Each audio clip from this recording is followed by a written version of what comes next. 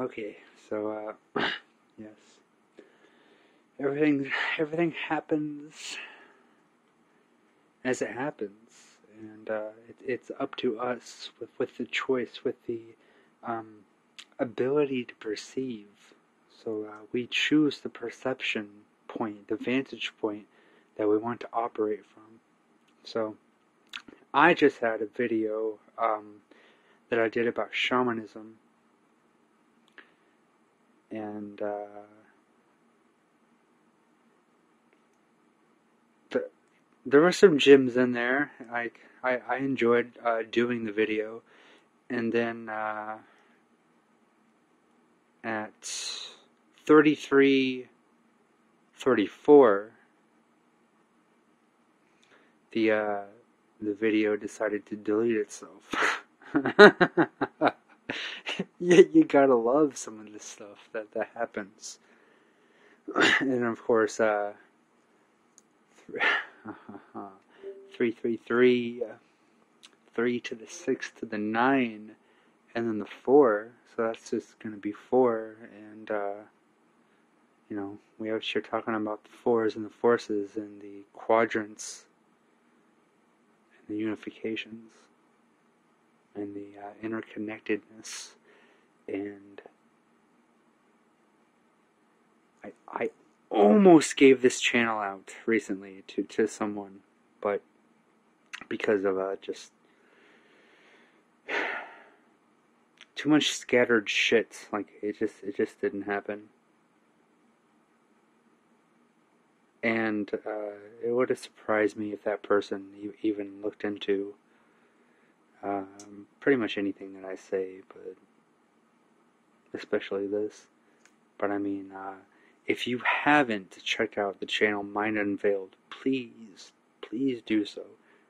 This is this is, in my opinion, one of the best fucking video, one of the best channels on YouTube. Or, or, or any fucking uh, platform.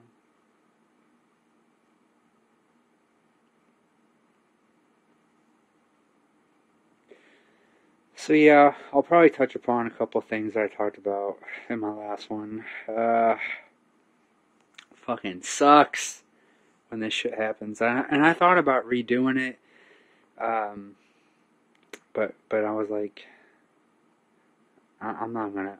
It's it's just not gonna be the same because I'm I'm gonna be trying to reach for things in the past, and I'm not going to be in the present moment, um, allowing inspiration to happen um, fluidly and. Uh, spontaneously, which which is why uh, how I like to create these videos is uh, having things happen spontaneously and in the moment, so that uh, it's very fresh and uh, it happens without not necessarily without much contemplation, but it just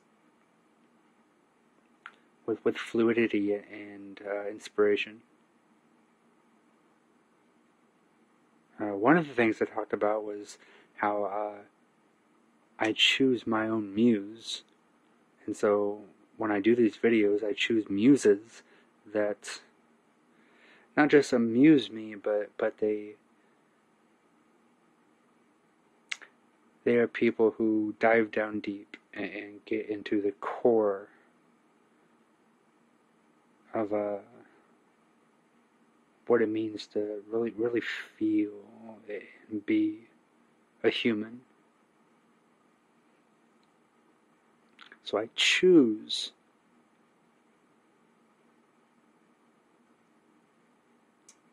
the things I want to springboard off of.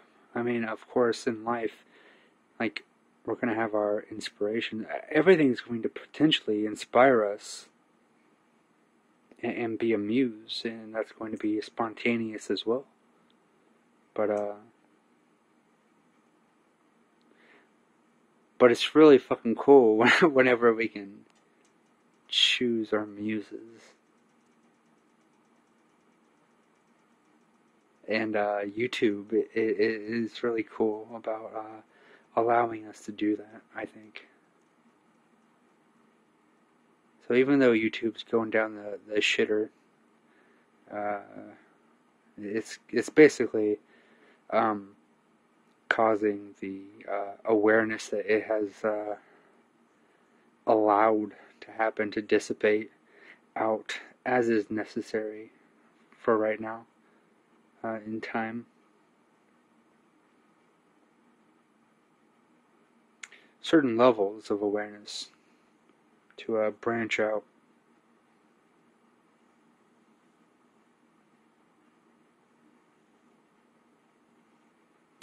But uh, this is this absolutely goes into you know, is your entertainment actually you know entrainment in indoctrination? Or are you entertaining yourself with things that inspire you? Are you choosing your muses? Are you allow or are you allowing them to be chosen for you by going along with with bullshit scripts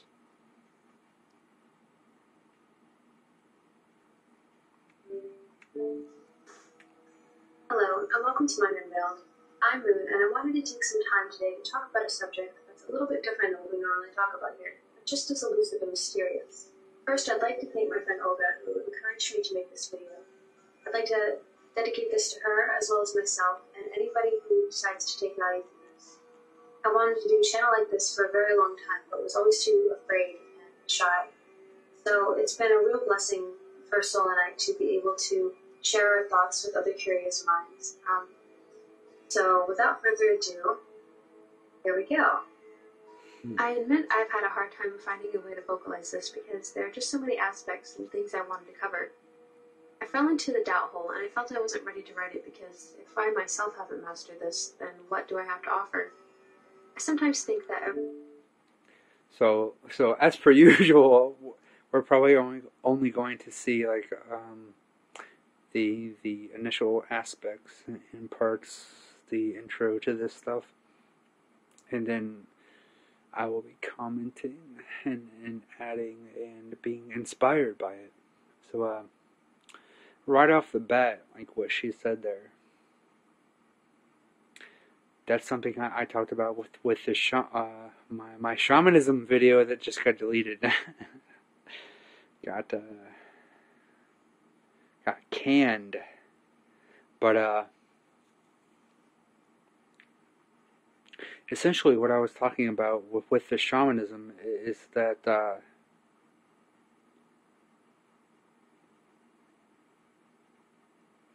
the person that I that I was allowing to be my muse at the time was, was talking about um, basically undergoing shamanhood and being uh, a professional or uh,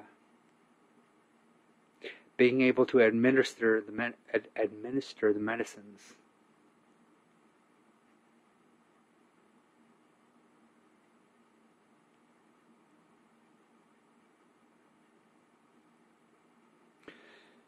So uh, I kind of disagreed a little bit. I mean, I, I, I went into what he was saying and um, uh, the layers of what a shaman actually does and what a true shaman does and, and how they they know when to uh, bring forth guidance and when they know to allow experience to happen and when they when they know to hold space for for the person or people so this kind of uh, brought back those vibes of uh, with, with the mastery. And uh, before I before I started making any YouTube videos, also this is uh, once again shout out to Zen Man because I, I wouldn't have made any YouTube videos if it wasn't for Zen Man, and I feel like that's that's for a lot of us as well. I speak for a lot of us. Uh, the mastery thing. Um,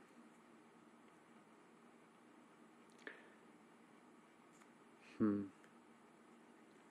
This this does hold true, but but it doesn't necessar- necessarily mean that there there isn't wisdom to be gained from someone on the path and sharing uh, what they're going through. But the thing that you have to be wary uh, um, about is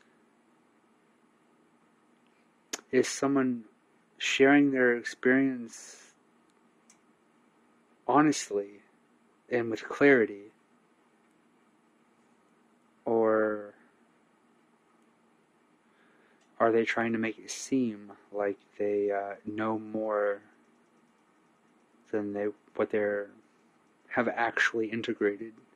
So with, with the shamanism stuff that I talked about, it's uh, integration.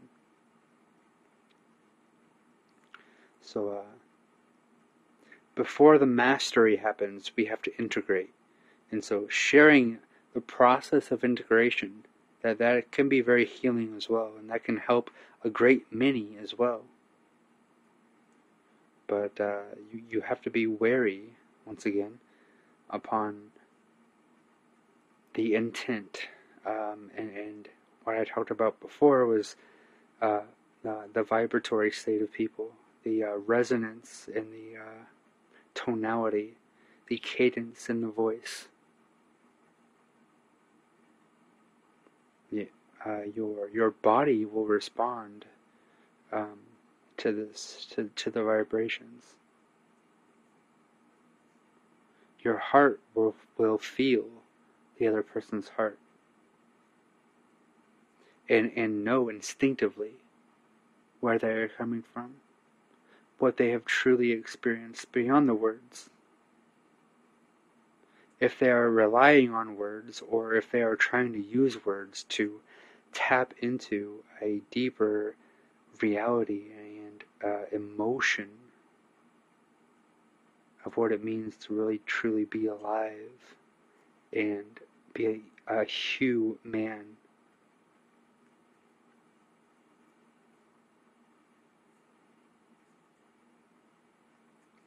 So uh, this, you know, I've made videos about this, like discernment is key. Like, yearn to discern your reality. And, and tap into the real. Everything I'm doing is pointless, but then someone reminds me that it isn't. I feel stupid for doubting myself and have a good laugh. Yeah. Me assuming that someone has to be a master in order to be able to teach is stopping you from potentially gaining some sort of value from every experience. Precisely. We compartmentalize our lives too thoroughly. We assume, well, what do they know? It's like saying that you can't learn baseball from your dad because he's not an Mm. expert. Like, he's just a dabbler if he isn't signed to the Mets, so you couldn't possibly learn baseball from your father. That, of course, sounds ridiculous to me. We are all capable from learning from each other, even if it's a negative experience. We can transmute that into something valuable Beautiful. by accepting it and looking at it from another angle. Ultimately, I feel passionate about this, as if I were created to do this. I love to create and talk to people about these topics mysteries, people, histories. Every person is a mystery because a mystery is my story. Yes. I think that it's important for us to ins- explore the mysteries because histories only tell a small part of the story of the world around us and ourselves. We are the world, and it grows with us. Our words have very specific meanings. Many everyday normal words are actually compound words, long words made up of smaller words.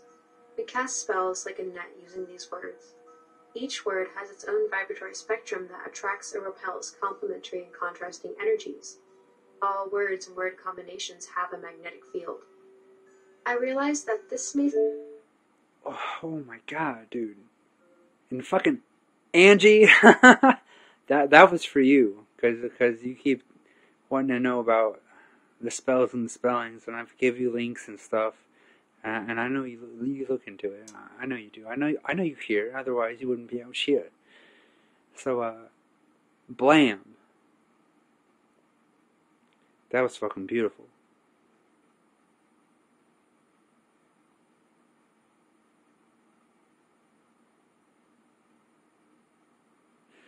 these these words and even even letters like encapsulate uh, vibratory states. It's it's a, a level of cymatics that we haven't yet really um, truly understood because each fucking letter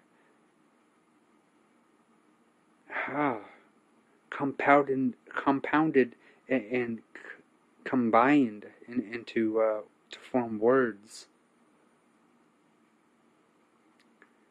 It's just uh, vibrations upon vibrations upon cymatics that, that we aren't realizing that, uh, what the effect of these things uh, that, that we are doing.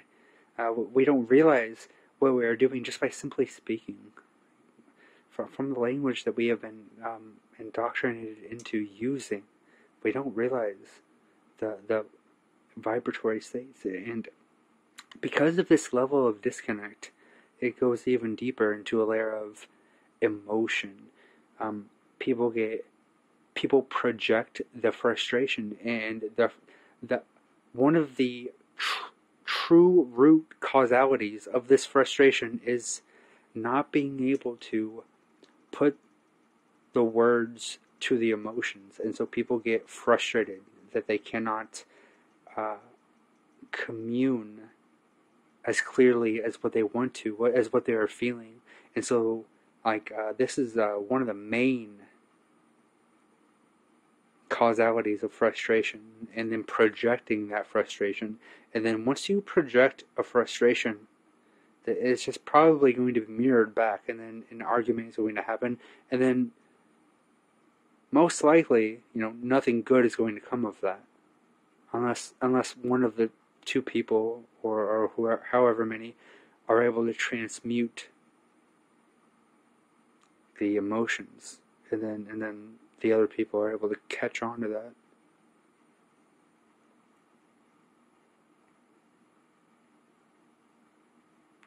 So this is this is just yet another thing that happens whenever we go into the stillness and meditate and focus inward and dissolve the layers, dissolve the scripts and spellings and words and redefine our, our reality from what we experience directly.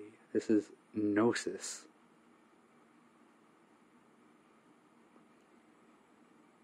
And the clearer you get within, and experiencing directly, direct communion with truth and reality, and experiencing this without having the need to form words around your experience, then the more time you spend there, then you will begin to experience more and more as within, so without. And things on the outside will just begin to happen. You will have crazy stuff happen in, in your outer manifestations that reflect this inner work that you have cultivated and done inside. Don't take my word or anyone's word for anything. Do this for yourself and experience for yourself. Know for yourself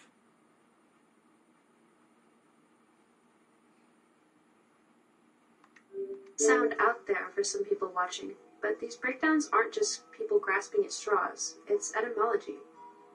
So you may be wondering, why try and look so deeply into mythology and common everyday words when the real outer world is so messed up? And that's because I think that self perception has everything to do with our outer world. Mythology and human psychology go hand in hand, I suspect in more ways than just metaphorically. Now, to be fair, this is this is just my personal perspective on things, and I'm sharing because I feel that someone out there would like to hear this. It's my understanding that the world Fuck. that we humans know has a lot to do with our perspective, if not Yes. everything. And I think little by little, if we can repair our inner selves, then our outer world will follow quickly behind. Dude, I just said this. Like, fucking, fucking amazing.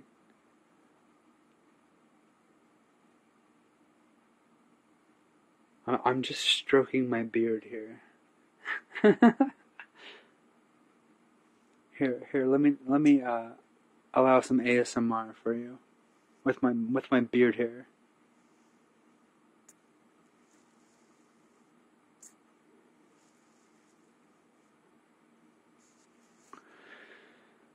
Oh my gosh.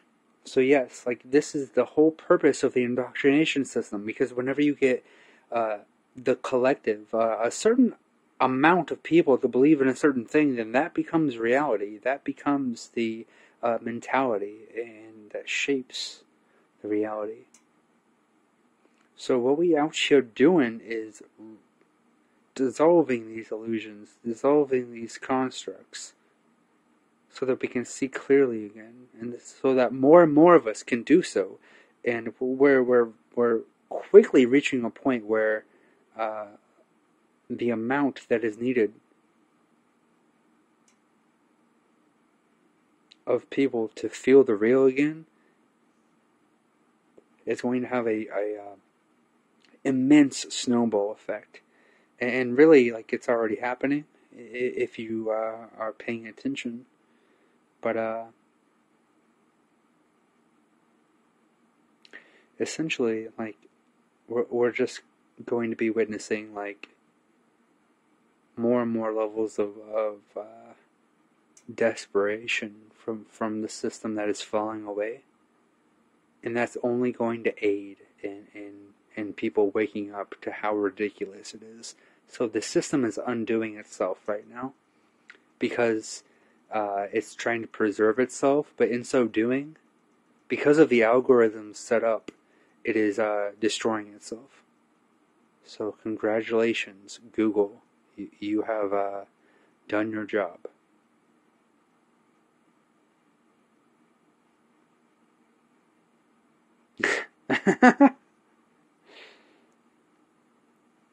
and I know that some of you out here know what I'm talking about when I say that uh, we are creating the astral tubes, because I've been engaging this quite a bit lately. And I'm like, I, I keep backing off from it because I'm like, I, I'm creating it and then I'm feeling it, and I, I don't want to do too much uh, too soon, so I'm just kind of creating space. And this is also something that shamans do is they just allow space and they create space and they hold space for people to experience the things that they need to experience for themselves. So yes, astral tubes, shaman tubes. Tap into it because it's it's already out here. So tap into us.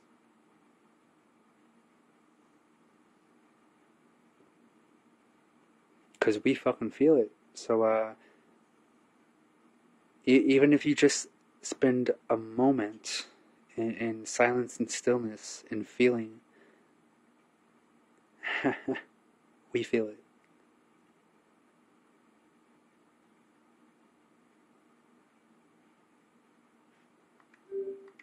I went over in my Fairies Explained video how this world is electromagnetic in nature. From our daily interactions to our love lives, we use electromagnetic theme phrases to describe these feelings or emotions, electronic Yeah. motions. Yeah. For instance, opposites attract, sparks flying when you're with someone, being turned on, and we call it misconduct when someone is treated unfairly, shock at something said unexpectedly, etc. You get it. It's apparent that our thoughts and emotions influence our electromagnetic fields, and these different frequencies create a variety of different effects, like a mandala or a ripple in still water.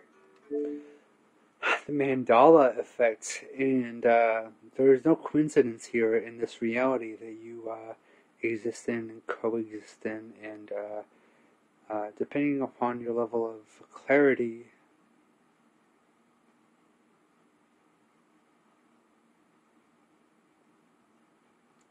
You uh, ebb and flow in and uh, swim within, or weave in and out in, or zigzag in and out of.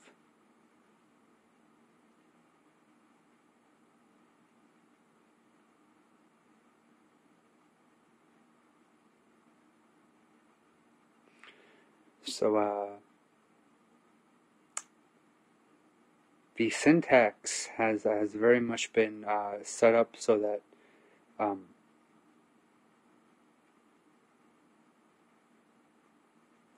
people's minds go into this uh, simulated reality, and with computers.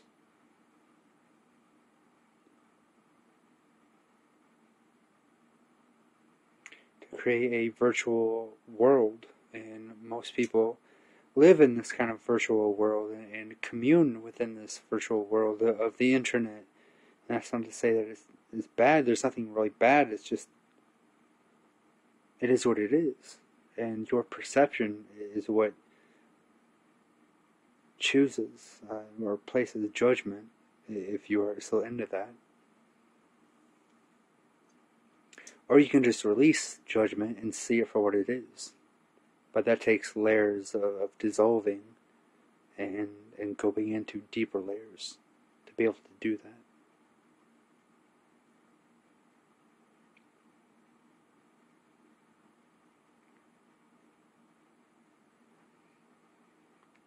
I'm sure many people watching are familiar with the concept of the law of attraction, astrological or elemental influences. You either are interested in this or you know, you think it's new age nonsense, and that's totally fine. I just wanted to dig deeper into these concepts and delve into the idea of true love for the self. Hmm. Now, this explanation may seem a little occult and might make some people uncomfortable or even irritated. However, it's this very state of mind that prevents us from looking deeper into ourselves and our world. The kind of love that we have for ourselves is the ultimate love. We must learn to be our own best friend, our own lover, our own parent, our own child, and our own enemy, since we seem to be programmed to compartmentalize thoughts. And that's like uh, some some super, super fucking deep level shit, like beyond uh, what what most people will, will ever really uh, integrate. So uh, essentially, what she's talking about is is complete self sustainability and uh, also complete awareness of the roles and the uh, potentialities of being a child, go, going up and growing up into a more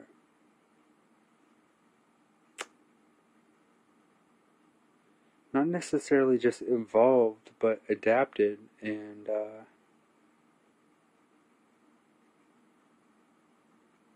aware state. So seeing all the the phases of being a human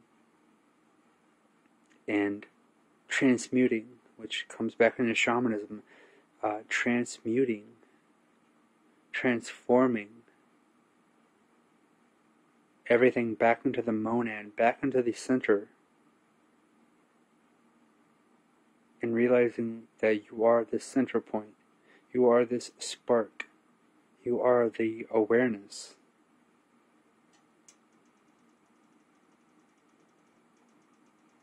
And whenever you can tap into this, you have access to all the perspectives of being a child, of being an adult, being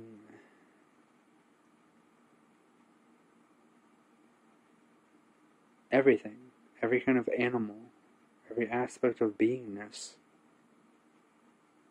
that, that is there for you to tap into. But all you have to do is remember the access codes. And this starts with remembrance of learning to sit in silence and integrate the stillness to listen within the stillness to integrate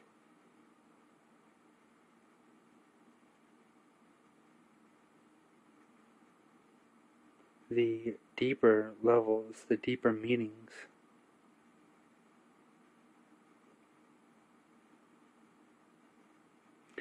And oftentimes, for a lot of us, it is a process. And we are going to cycle in and out of these these states, and, and that's to each their own. I mean, everyone's going to have their own path towards this, uh, towards truth and clarity. So there's no like right or wrong paths necessarily. It's just it's something good or is something better or is something best to, to, to help you there.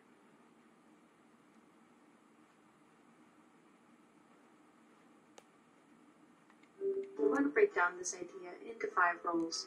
I will also relate these parts to the five elements. L, the L's, one, the best friend. the The best friend part of us is the aspect of us that is just the most fun to be around. It's the us that we hang out with when we're doing our passion, whether it's some sort of art, sports, music, or just chilling and relaxing.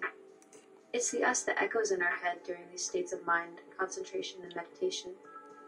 In this way, they keep us grounded, and I like to relate this to the earth element. Two, the lover. The lover part of us is the part that motivates our desires. This is the part of us that reminds us of our own beauty and uniqueness. They are our naked and natural selves that understand the most intimate parts of our minds, bodies, and souls. We spend time making ourselves look good for the lover part of us. Mhm. This is the part of us that lights our motivational forge. They drive us to be better people, and we want to impress them. Fire is the element I chose to attribute this aspect of ourselves. Yes. 3. The enemy. The enemy part of ourselves is one that I think people these days spend most of their time with. Yes. This is a complex and seemingly necessary part of us. This part can be a prankster, an unyielding teacher, a relentless bully, an abuser, Trickster. a killer, and at its worst, a friend in disguise. This part exists to get in our way and to knock us down at the, incon- at the most inconvenient times. Loki. To me, this part exists to bring us down to remind us to be grateful for the high times. Maybe it's This is what I'm talking about when I'm reminding of humbling yourself. So there, there, there is an aspect of that uh, within within everybody that that um, you know within like the purest aspect of like you know uh, people trying to bully someone.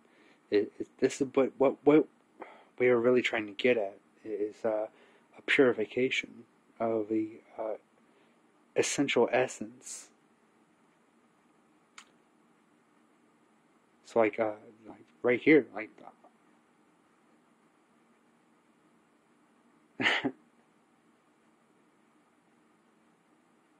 you know, iron sharpens iron or, or whatever the fuck this saying is. Steel sharpens steel.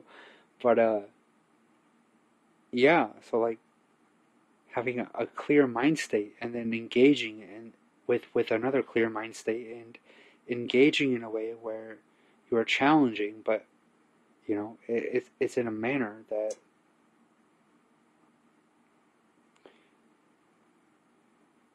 essentially like is of benefit, and you're not trying to seek destruction. So like it's always a balancing act with with this. So whenever you can really balance things inside of you, then you can truly engage with uh, extremes on both polarities.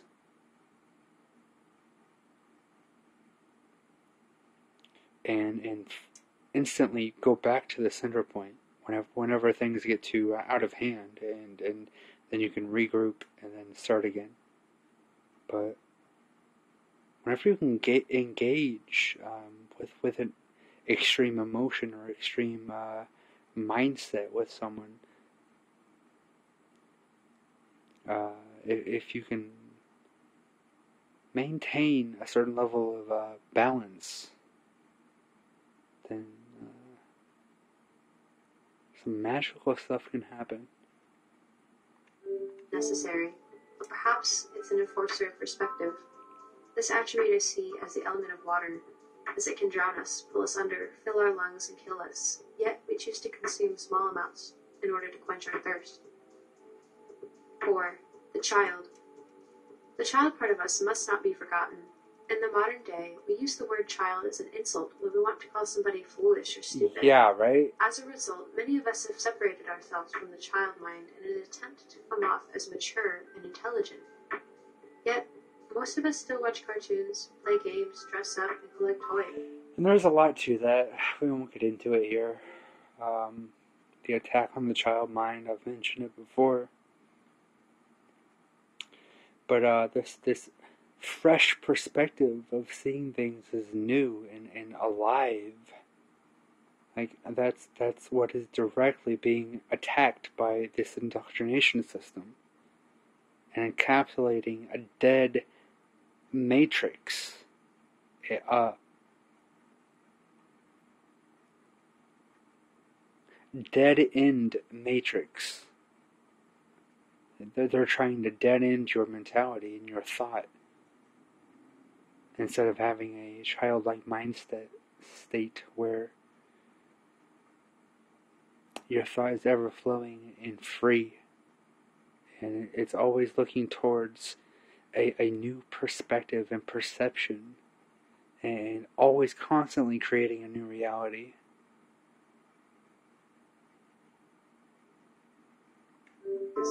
But uh, is that what defines a child? Would a child still be a child without those things? Of course. Being a child is like the childlike, the childlike state of wonder and curiosity at ourselves and our surroundings. In this state, we question everything and imagine freely. This part of ourselves is wild and free and lives in the moment. Yeah. I think air is the appropriate element for this aspect, as air is what we need most immediately before water, food, shelter, or clothing. Beautiful. Being without air is the quickest way to death. Without our inner child, our spirits too quickly pass away. Beautiful. Number five, the parent. The parent part of ourselves is just as important, and I attribute it to the fifth element, plasma. Oh my gosh. It is the element of life giving. Yet, this part of ourselves is another one that people struggle with. In the Oh physical world, god. parents are just normal folks with kids. Unfortunately, many people didn't spend the time figuring themselves out before having children. Oh my god. And I didn't watch this part yet, but like, she just went from fucking. Oh my god. Parent and plasma. Like, are you kidding me?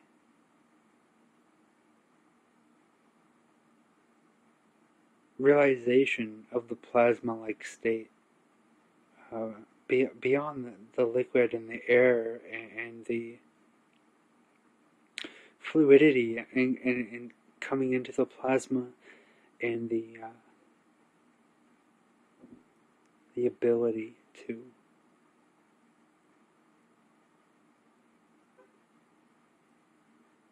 not just integrate because after integration comes sharing. And so the parent is supposed to share and help the child to integrate, but also allow. The parent is very much like the shaman. The parent is the ultimate shaman, okay? And I just now, uh, that's the first time I ever said, said that or realized that, really. The parent is the ultimate shaman. Wow. So now I realize why that video got deleted. That's so that I could realize this. oh my gosh.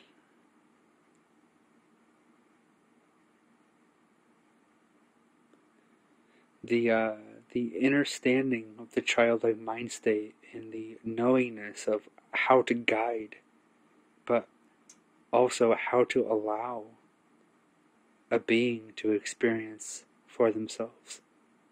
Shaman and parent. Oh my god. So fucking beautiful. for one reason or another. And I understand that no parent is perfect, and mistakes are bound to happen. But there are many people, in my generation at least, whose parents didn't care for them how they needed to be cared for. They may provide food and shelter, but a large number of people with children don't maintain their relationship with, them, with their children or themselves. Yerp. Much of the time, children are doomed to repeat the actions of their parents, becoming a near carbon copy. It takes a level of perception not taught in schools to be able to learn from the mistakes instead of repeat them. This has caused many of us to have to learn on our own how to take care of ourselves financially, emotionally, or spiritually. All and of this learning above. process can be difficult, especially with the distractions of the modern age.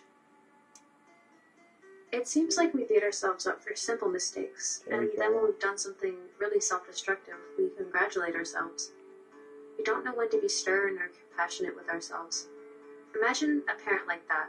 We turn our noses up at the idea of a parent who allows a child to drink booze and hang out with shady people. Yet then we turn around and have a drink with that person who always gets us into trouble. Many of us don't even feel in control of ourselves or our lives. Life feels surreal as if we're the passenger in the seat of a car mm. that's going who knows where. maybe nowhere. I realized that a lot of people who roll their eyes and scoff at this type of introspection are the same kind of people who depend on pills to even out their mood. Like petulant teenagers, we would rather swallow some designer pill to make us happy instead of spending our precious time looking inside of ourselves to figure out the problem. We are constantly stressed about how little time we have because we have to work two jobs in order to fund our pills and our psych sessions that make us feel a little bit less crazy some of the time. Most of the time, we just continually up our dosage, thinking that that's the next step in our recovery until the day. Well, yeah.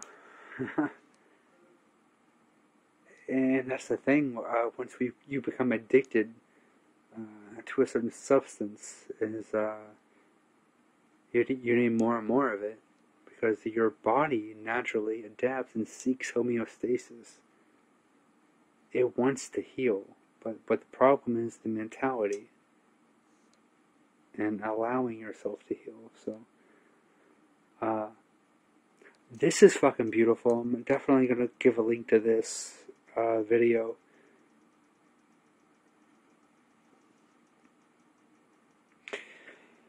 This person is fucking beautiful. Um, I could just stare into her eyes, like, oh my gosh. And I'm not coming from a place of like lust at all and actually like I've been really really diving down deep into like I'm having deep experiences with with lust and, and what it really means. Like ultimately like seeking lust or seeking like an eternal relationship with with love um, a, a cultivated awareness of um, a deeper level understanding of, of love and, and where lust comes into play with that, which is just very surface level stuff. So, looking into the eyes of some people, like with this person, they pierce into your soul, don't they? Uh, the clarity and perception, the awareness. It helps remind you of that within you.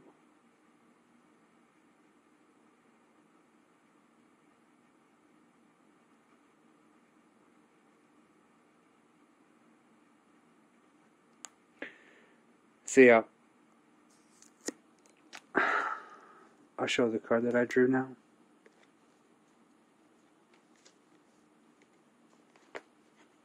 And I've also been having a lot of uh, interactions with with people, with females who remind me of this level of awareness. And uh, once again, I'm left with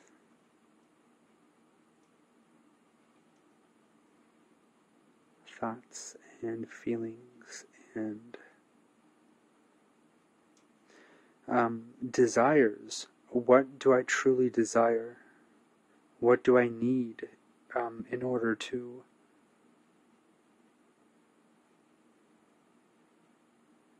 bring about what I truly desire? Which, which is well beyond lust, well beyond um, any carnal desire. But it is a uh, recognition of what is needed in order to uh, harbor and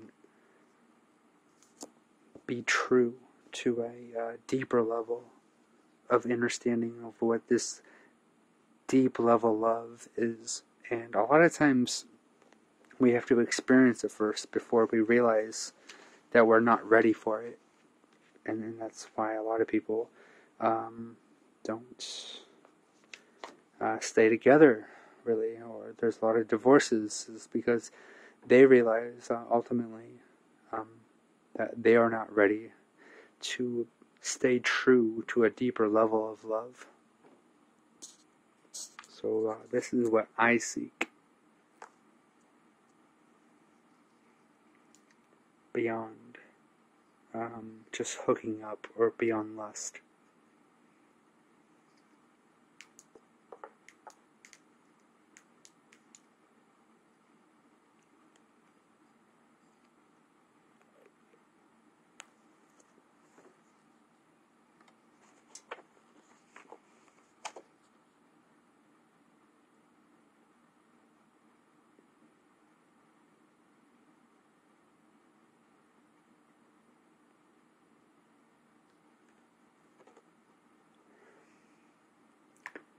Lucy the spider.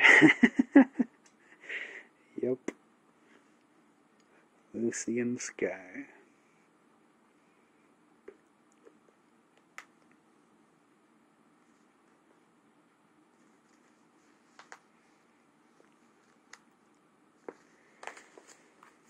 So what we got is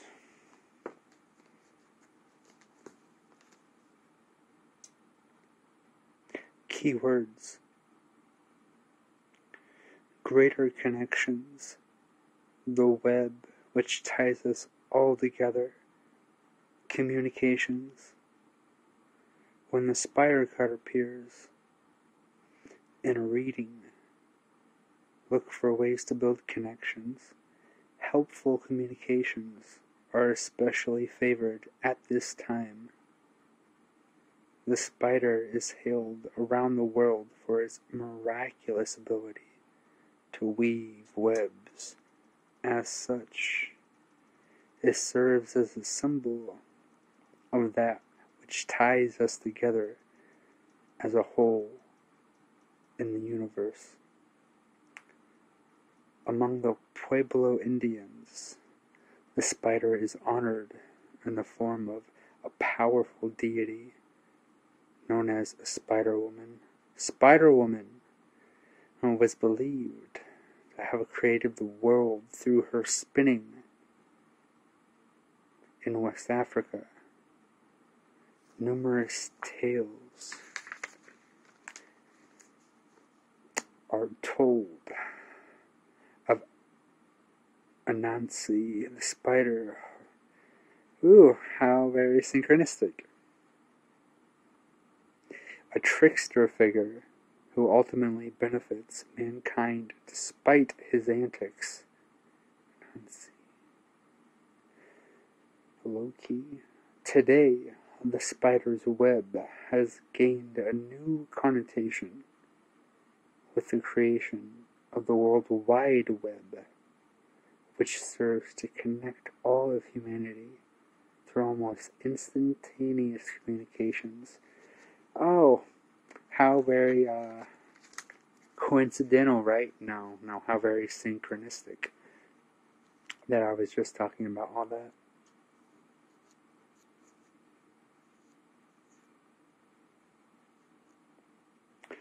The webs that we weave, the uh, connections that we continue to strengthen, what we're uh, remembering how to tap into um, the inner realms to where we are able to um, have instant communication, uh, no, no matter the distance.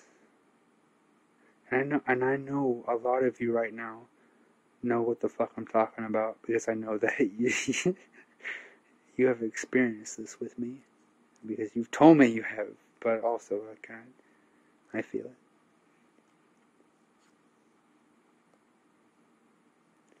So yeah, this is just going to continue to grow and snowball. Uh, there's no stopping this. You you can you can shut down the fucking internet, but the web is already there. Like, uh, good luck shutting that down. uh, so yeah, I'm looking forward to this. It's gonna be interesting. Coming into uh, the year 2020, or what we are told is the uh, collective inspirations and aspirations and awarenesses coalescing right now is uh, very magical. So try to stay tuned to the magic and to the beauty. And uh, if you're going through hell at these times, uh, know that you are not alone and know that there's a collective hell happening right now. So there's there's a great many going through a great deal of trials and tribulations, and you are by no means alone.